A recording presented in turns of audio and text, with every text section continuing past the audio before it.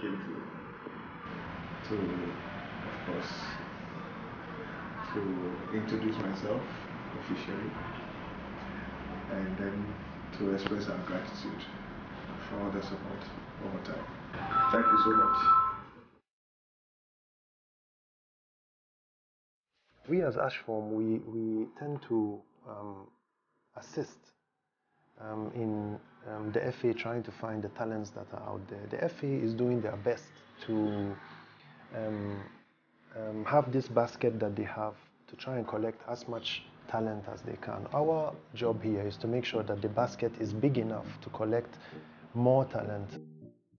Football now, as you know, puts a lot of countries on the map. Putting your country on the map brings a lot of more investment or tourism or something like that. We're helping the FA to find the talents for them to grow correctly, become part of the national team, to win international awards, indirectly benefits the company, benefits the country. More people come in, more investment, more tourism, more everything. So it's a chain effect.